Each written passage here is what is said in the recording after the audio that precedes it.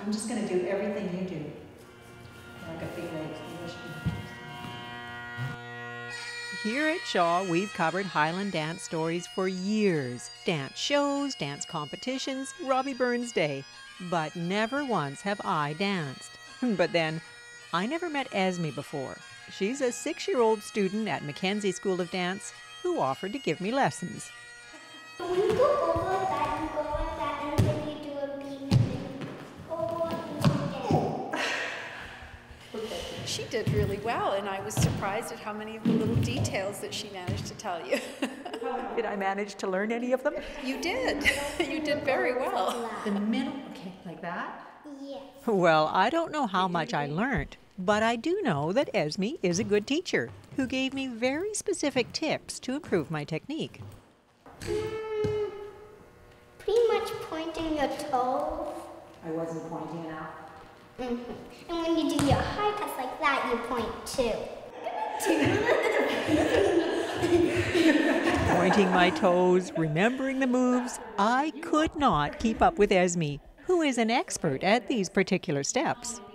Well, Esme was doing the pas de basque and high haikats, which is part of the four dances that primary dancers compete in. Ah, yes, competition, an integral part of Highland dance, and something that Esme is good at because, well, because she loves dancing. Because you like, you jump. And I like jumping because it's fun and you like going boing, boing. Yeah, it's pretty fun doing that. Boinging, jumping, and a lot of giggling. She's having so much fun, you might not realize that Esme is in training. She is. She's practicing for the Port Alberni Open Highland Dance Competition, uh, April 16th in Port Alberni. And there will be dancers here from all over Vancouver Island and the lower mainland, and it's wide open for anybody to come and watch. The Port Alberni Open Highland Dance Competition is taking place at the Alberni Athletic Hall on Saturday, April 16th, and the public is welcome to attend and cheer on their local dancers. As for me, despite being just a little bit out of my age category, Esme says I've got a pretty good chance. yeah.